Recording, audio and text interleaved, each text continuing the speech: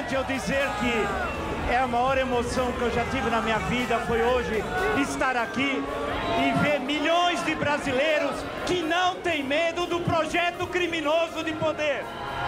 Aqui tem brasileiros, aqui nós não temos medo, aqui nós mostramos que o verde e amarelo é a cor da nossa bandeira e será para todos sempre.